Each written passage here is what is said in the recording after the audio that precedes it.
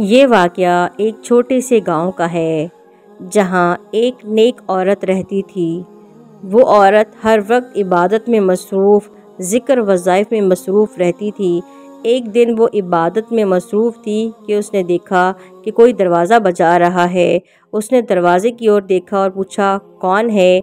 जब वो दरवाज़े के पास गई तो उसने देखा कि एक मांगने वाला है, जो अल्लाह के नाम पर मांग रहा है। उस औरत ने जब उसे देखा तो बहुत गुस्से में आ गई और कहने लगी, यूँ रोज़ रोज़ मांगने आ जाते हो, कोई काम क्यों नहीं करते? क्यों लोगों को परेशान करते हो? क्यों लोगों के दरवाज़े बजाते हो? कोई काम धंधा करो, जाके अपना पेट पालो, लोगों को परेशान करना बंद करो। उस औरत की बातें सुन के वो शर्मिंदा होकर खड़ा रहा और कुछ ना बोला और दिल ही दिल में अल्लाह से बात करने लगा। ए अल्लाह, तू जानता है मैं कितना मजबूर हूँ। मेरे छोटे छोटे बच्चे हैं जो घर में भूखे हैं। मेरी बीवी बहुत अरसे से बीमार है और लाचार है, जिसकी वजह से मैं इस मकाम तक पहुँचा हूँ। ए अल्लाह, तू मेरी मदद फरमा। ये बातें करने लगा और जाते जाते कहने लगा, अल्लाह तुम्हारा भला करे। और कुछ ना बोला और चला गया। वो औरत गुस्से में आई और कहने लगी, ये लोग रोज़ ड्रामे करना शुरू हो जाते हैं।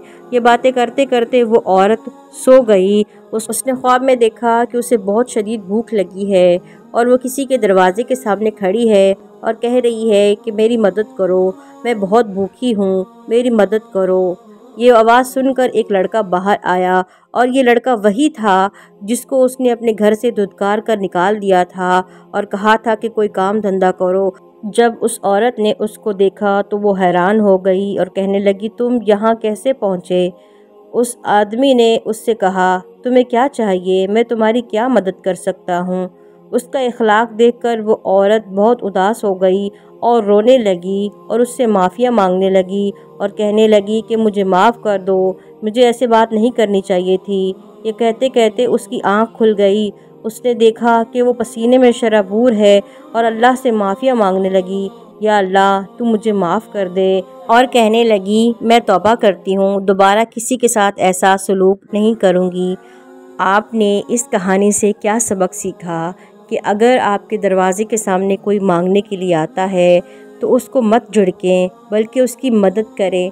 आपके दस बीस रुपए से वो कोई बंगला या गाड़ी नहीं ख़रीद लेगा, बल्कि अपने बच्चों की ज़रूरत भी पूरी करेगा।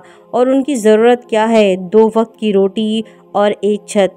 और दूसरी बात, ये हमारी खुश नसीबी है कि अल्लाह ने हमें इस काबिल समझा और अपने बंदे को हमारे दरवाज़े के सामने भेजा है और ये हमारी खुशनसीबी है कि हम उसकी मदद करें।